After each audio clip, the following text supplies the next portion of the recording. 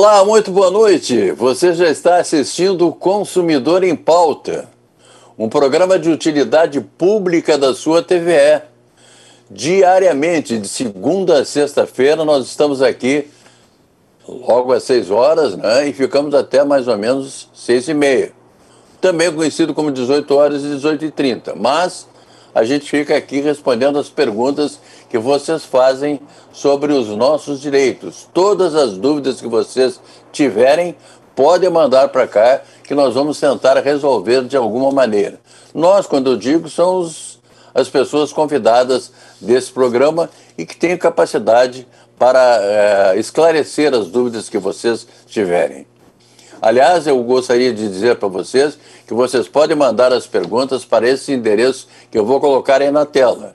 Vocês podem mandar para o nosso e-mail, que é muito fácil, e podem mandar também para o nosso WhatsApp, que também é fácil, principalmente para vocês que assistem diariamente o Consumidor em Pauta. Gostaria de agradecer também ao pessoal da equipe técnica da TVE, que nos mantém no ar. Eu aqui na minha casa e o meu convidado lá no escritório dele para tratar do consumidor em pauta via internet. Hoje nós vamos tratar de direito de família e sucessões, então eu gostaria que vocês ficassem bem antenados aí. Se você quiser assistir esse programa ao vivo, então você clica ali em TVE ao vivo e daí você pode assistir no telefone, pode assistir no notebook, pode assistir no tablet, onde você estiver. Onde você estiver e onde você quiser. Você assiste o programa Consumidor em Pauta que seria uma alegria para nós. Então eu disse para vocês que hoje nós vamos tratar de direito de família e sucessões. Eu tenho um prazer enorme em conversar aqui nesse programa de hoje com o doutor Pedro Verge. Boa noite, doutor Pedro. Como tem passado o senhor? Tudo bem? Boa noite, Machado. Tudo bem, graças a Deus. E contigo? Ah, tudo bem. Estamos aí enfrentando que essa temperatura também sobe e desce, né? A gente vai vivendo aí como dá.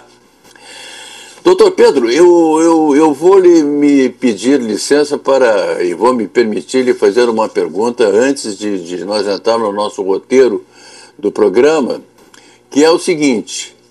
Nós estamos vivendo uma plena, em plena pandemia, parece que ela não termina nunca. Faz ano, faz desde o ano passado que a gente está vivendo essa pandemia, por causa da Covid-19. E isso aí impactou em vários, em vários segmentos da população e da sociedade. E eu gostaria de saber, doutor Pedro, que impactos teve ou tem a pandemia na questão do direito de família. Só por favor, se puder, e sai, eu tenho certeza que pode, responda, por favor. Com certeza, Machadinho. Pois é, né? A pandemia ela não é apenas um problema de saúde pública, como agora, passados um ano e meio desde o início da pandemia, nós, advogados, conseguimos ver claramente o impacto da pandemia no especificamente na área de família e sucessões, que é a qual nós vamos conversar hoje, dentro das casas das pessoas, na vida das pessoas. Em primeiro lugar, situação econômica, com uma um número elevado de pessoas sendo demitidas, perdendo os empregos ou tendo seus faturamentos das suas empresas, e não apenas pessoas de classe média baixa, mas também classe média, classe média alta, que tiveram a sua renda afetada, consequentemente, dificuldade no pagamento, no sustento da família, no pagamento das pensões alimentícias. Então, assim, a gente viu uma horda de ações de revisão, de pessoas precisando revisar valores pagos a título de alimentos em razão da redução da renda essa foi, esse é um primeiro ponto que chamou muita atenção do, dos advogados da área de família e sucessões, dos acadêmicos também, é muito debatido, inclusive nos congressos a gente tem debatido né, a pandemia, como ela vem afetando as famílias. Outra questão, também muito importante, a violência doméstica. Com as pessoas forçadas a ficar mais tempo em casa e convivendo, às vezes uma relação que já está desgastada, ela se torna insustentável. E muitas dessas relações, a gente sabe, muitas dessas animosidades, elas acabam desencadeando para uma, uma, um episódio de violência. Então a gente pôde ver também um avanço gritante da, do número de ocorrências, e isso eu posso referenciar os números, fazer referência aos números do CNJ, do, as estatísticas, com base nas, nos registros de ocorrências e pedidos de medida protetiva, que houve um, um aumento significativo também nos casos de violência doméstica. E também os divórcios. É, é, é gritante a, o aumento no número de divórcios. Isso até seguidamente está na mídia, essa questão dos divórcios. E no início pareceu um pouco mais devagar, mas agora, um ano passado, mais de um ano de pandemia, pôde ser verificado também que muita relação que acho que estava para terminar com esse com essa questão de, de, do convívio forçado, de ficar em casa, às vezes até uma crise econômica, que é algo que entra na casa das pessoas, afeta o, a harmonia familiar, tudo isso, né, trazido pela pandemia, também fomentou a questão da dissolução de uma série de relações. Então, assim, nós temos três questões principais: a questão dos alimentos, muitos pedidos de revisão, os divórcios que aumentaram em razão da dificuldade da, da coabitação e a violência doméstica também em razão da, do, do convívio mais intenso de famílias que já talvez estivessem ali só por uma questão econômica ou de comodidade e que a pandemia acabou jogando essas pessoas numa situação de estresse e desencadeando essas situações. Então, infelizmente, não, os números, eles não são apenas uh, em termos de saúde, né, mas no direito de família a gente tem toda essa situação que ela é bem, bem entristecedora. Mas, se Deus quiser, estamos rumando ao fim disso aí uh, da melhor maneira possível, né. Eu tinha certeza absoluta que o Dr. Pedro eh, nos daria um, um amplo relato sobre sobre as coisas sucintamente, mas ele conseguiu abranger todas as, as, as situações que a pandemia vem causando. Ah, ela causa problemas no, na questão financeira, na questão econômica, e isso acaba desencadeando tudo isso que o senhor acaba de nos referir aqui. Muito obrigado, doutor Pedro, por mais essa explicação maravilhosa. Vamos lá às perguntas, então. A primeira pergunta é de uma pessoa que pede para não ser identificada, é de uma anônima. Desde junho de 2016 tenho causa de partilha. Quanto tempo teve, é, é, deve ainda durar? E pode ser arquivada, ou seja, encerrada, sem que nada me seja comunicado, ou melhor, sem receber nada de herança, visto que são cinco herdeiros e dois imóveis um na cidade, eh, onde dois herdeiros moram, e tiveram esta casa doada por nossos pais, e um no litoral, o qual não tem testamento. E qual seria o cálculo justo de partilha, doutor eh, Pedro? Bom, essa pergunta ela, ela traz muita, muita, muitas informações, mas poucos elementos concretos. Então, seria leviando a minha parte dizer um número correto de partilha. É inviável, não tem como. Mas assim, ó, em primeiro lugar, se existe uma partilha, presumo que essa a nossa telespectadora ela seja herdeira. Eu não sei qual é o, o, a categoria de herdeira. Pode ser filha, pode ser esposa, enfim, porque varia a participação na herança. Então, assim, se existe um processo de inventário tramitando, não tem como ele ser baixado, ser esquecido, ser arquivado, sem que ela saiba. Primeiro, ela deve ter um procurador, que deve passar as informações para ela, e não tendo um procurador, o que, que acontece? Se o advogado, quem está patrocinando a causa, não está acompanhando e ele não se manifesta nos prazos em que o juiz uh, intima para a manifestação, uma carta é enviada para a casa da parte, exatamente para garantir que aquela parte tenha ciência do que está acontecendo no processo. Então, por isso até uma informação muito importante que eu vou falar agora, para todas as pessoas que têm processo na justiça, elas têm que manter sempre seus, se elas tiverem processo em qualquer vara, de, de, família ou não, elas têm que manter sempre seus endereços atualizados. Se se mudarem, tem que ir ao cartório e informar o endereço, porque na eventualidade de acontecer qualquer coisa com o procurador, perderem contato, que às vezes acontece, infelizmente. Essa parte, num processo, ela vai receber uma carta em casa dizendo para ela se manifestar ou constituir outro procurador.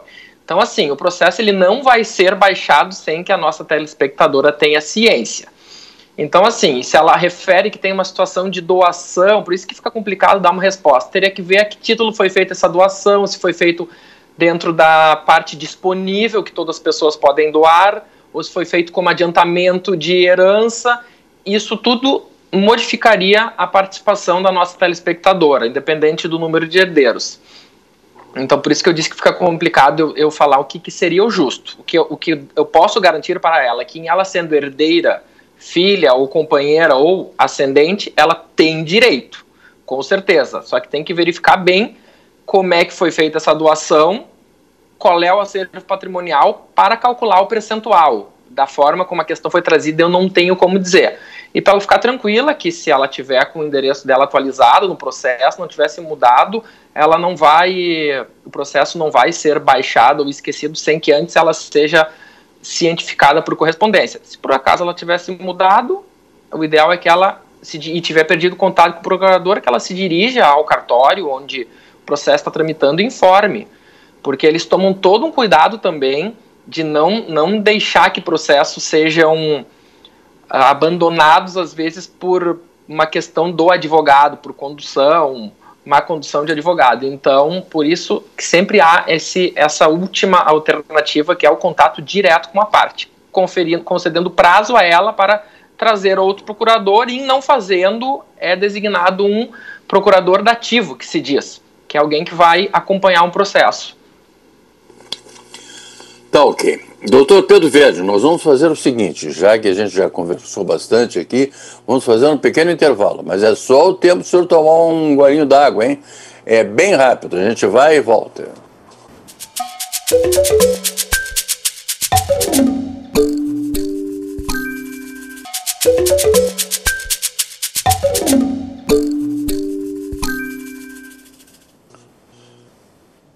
Esse é o programa Consumidor em Pauta e o assunto de hoje é direito de família. Estou conversando aqui com o doutor Pedro Verde e quero, antes de mais nada, dizer para vocês quais são os endereços, repetir para vocês quais são os endereços que vocês podem usar para mandar as perguntas que vocês fazem para o programa, tirando todas as suas dúvidas. Vocês podem usar o nosso e-mail ou então podem usar o nosso WhatsApp. Se quiser assistir ao vivo esse programa, clica em TVE é, ao vivo e daí você assiste onde você estiver, inclusive no telefone. Doutor Pedro Vejo, tenho uma pergunta aqui da Lindaura, que mora aqui em Porto Alegre. Ela diz o seguinte: Meu filho viveu com uma moça por 15 anos, de 2000 até 2015. Tinham uma união estável. Ela o traiu e foi embora com outro. Agora ele botou a, a, essa companheira na justiça, agora ela botou ele na justiça, cobrando um valor de umas peças que ele fez num espaço que cedemos. Ela foi embora levando todos os móveis e um carro que tinha na época. É, ele ficou sem nada. Oito meses atrás veio em nosso portão um homem pedindo licença para tirar foto da nossa casa. Meu esposo perguntou o porquê e ele respondeu que era para mostrar para um comprador. Como assim? Não está à venda. Foi ela quem mandou? Ela pede 54 mil. Minha pergunta: ela tem algum direito? Eles não tiveram filhos. Que complicação, hein, doutor Pedro? Pois é. Se essa união estável foi regida pelo regime da padrão da comunhão parcial de bens, tudo que foi adquirido no decorrer da união é partilhável. Pelo que eu entendi da pergunta, o imóvel ele é anterior, é, part... é dos pais do, do, do rapaz ou é anterior. Então, assim, ela não tem direitos sobre o imóvel se ele tivesse sido adquirido antes. Porém, se alguma, se eles residiam no imóvel e fizeram melhorias e reformas, ela tem direito sobre essas melhorias. Obviamente que ela não vai ficar com uma parte do imóvel, mas seguidamente a gente vê a pessoa busca um ressarcimento pelo que ela investiu no imóvel que é de outrem. Então, eu tenho uma união estável, vou residir num imóvel da minha companheira, eu, a gente faz uma série de melhorias, a relação termina, eu saio do imóvel. Tá, mas e o dinheiro que eu botei lá? Então pode ser isso, pode buscar uma indenização por esse valor que foi posto no imóvel particular. Então, me parece, pelos elementos trazidos, que a situação é essa. Ela não tem direito sobre o imóvel, mas sobre as melhorias que foram feitas. essa questão do carro que ela levou, esse troço, isso aí, essas coisas todas entram no. É muito comum isso, doutor, ou não? Claro, isso também tem que ser, isso também entra na partilha. Né? Às vezes as pessoas só olham, ah, o que eu tenho direito. Mas o, o que o outro também tem direito. Se ela saiu com o carro, metade do carro é dele. Então tem que fazer uma compensação. Soma-se o que foi adquirido no, no, durante a, a união e divide por dois. E, e é assim, o, o, os direitos e os deveres valem para ambos. Que coisa séria. Por isso que eu gosto de gente de família. Sempre, eu fico aqui só ouvindo o doutor Pedro falar sobre as coisas que acontecem e que certamente estão, são diárias e comuns para o doutor Pedro. Tem a pergunta aqui de uma pessoa anônima que mora em Canoas. Somos quatro herdeiros de um prédio. Meus irmãos querem vender, mas eu não gostaria de vender. A pergunta é: sou obrigada a assinar? Eles dizem que podem entrar com um pedido na justiça ah, aí terei que comprar a parte deles. E a telespectadora anônima quer saber se isso é verdade, doutor Pedro. Sim, é verdade. Não que terá que comprar a parte. Mas basta uma pessoa, um condômino, um coproprietário de um imóvel não querer permanecer com ele, que pode ser ingressado com essa ação de extinção de condomínio, que se chama. Nessa ação, caso né, o telespectador realmente não queira comprar, Nessa ação, vai ser oportunizado que qualquer um dos herdeiros deposite o valor da avaliação do imóvel para comprar dos outros, assim fica com o imóvel, o processo termina, ou em não querendo o nosso telespectador, no caso, comprar parte dos irmãos, o imóvel vai ser enviado a leilão. O produto da venda vai ser dividido entre os herdeiros. É assim que funciona. Então, a questão, o que informaram ele, é realmente procede. Pode ser encaminhado uma venda judicial forçada que é a extinção de condomínio que se chama. Temos mais uma anônima aqui que não diz onde mora também, mas diz o seguinte: Meus pais possuem vários bens. Tenho três irmãos e todos temos dúvidas como com os pais. Tenho dívidas com os pais. Porém a minha é maior. A mãe faleceu. Como todos deviam, fechamos o valor de 50 mil. Como eu devo mais, é, dizem que temos que colocar os meus 100 mil no inventário e depois dividir entre as três. Isso está correto? Se eu pagar esse valor, não voltaria para o meu pai, porque já que eu devia para ele e não para os meus irmãos. E ela quer saber se isso está certo, doutor. O que, que acontece? É muito comum inventários em que há, há os filhos tinham dívidas com os pais, e daí o que, que se faz com esses valores? Toda dívida que alguém tem com alguém que faleceu, ela entra no inventário como crédito do espólio. Então vamos imaginar ali, dois filhos deviam cada um 25 mil e o nosso telespectador 100 mil. Se for um inventário litigioso, cada um deles vai informar, ó, eu devia isso, eu devia isso. E isso vai ser informado no inventário como crédito do espólio e vai ser deduzido, se eles não tiverem, claro, não vão botar o dinheiro no inventário, mas é, vai ser deduzido da parte deles. Então ele refere ali, ah, eu devia para o meu pai. Mas no momento em que o pai faleceu, os herdeiros são os filhos. Então, aquele dinheiro, se o pai não te fazer um raciocínio sim, singelo, se o pai não tivesse emprestado aquele 100 mil para o filho, ele seria dividido pelos filhos. Como ele emprestou, esse filho que recebeu tem que devolver para o espólio para ser dividido pelos filhos, porque o pai já faleceu. Então, sim, realmente, claro, se eles fizerem um inventário de acordo, em tabelionato, sem litígio, eles podem se compensar por fora, dividir saldo de conta, é sempre a melhor forma.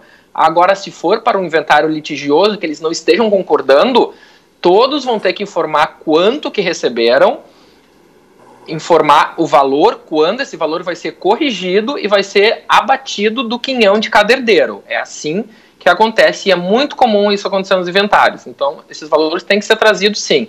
O melhor sempre é eles tentarem resolver isso fora do inventário, porque diminui o custo, é menos imposto de transmissão e é fora menos incomodação de trâmite de inventário.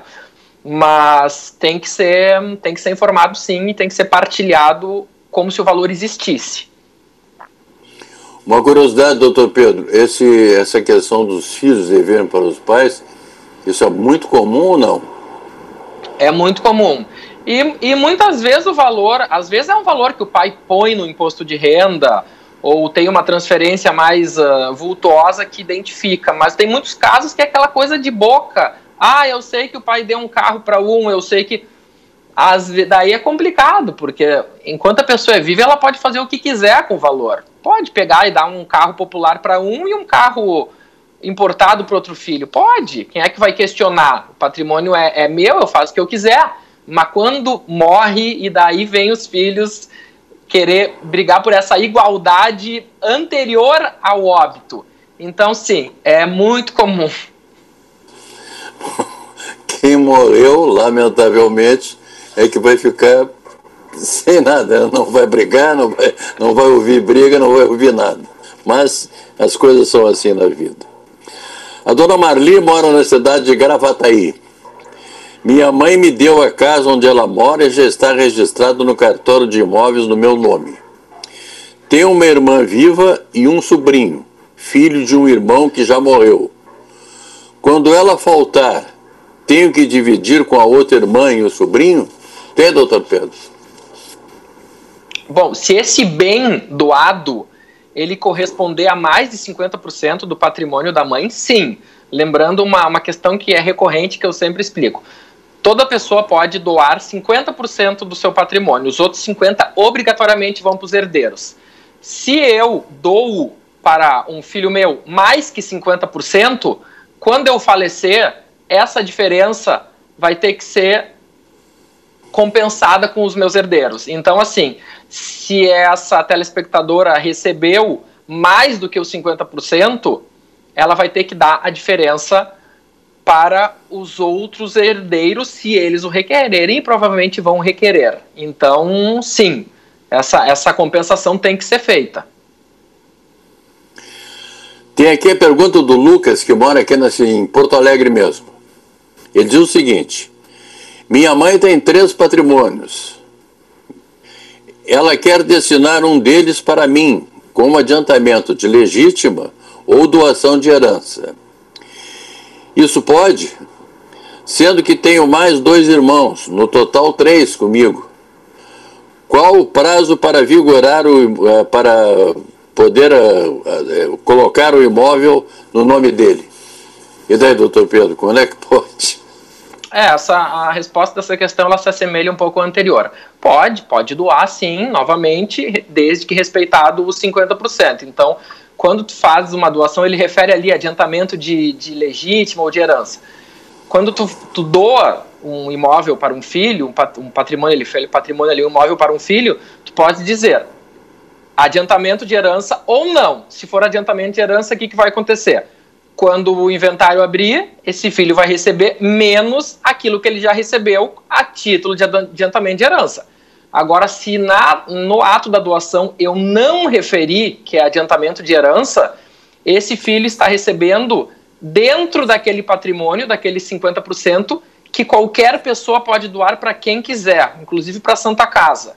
Então, nesse caso, esse o telespectador vai ficar com mais patrimônio do que os outros filhos.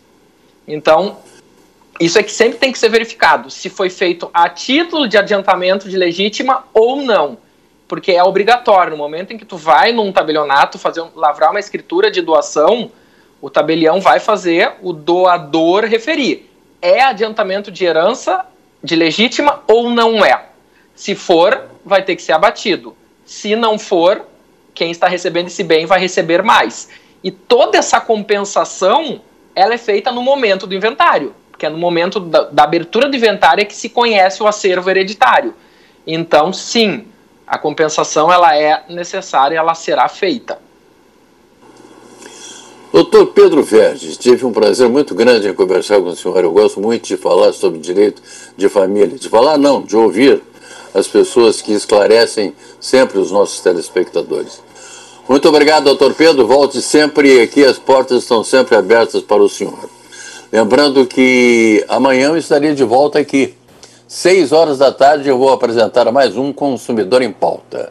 A todos vocês, muito obrigado, muito boa noite e até lá.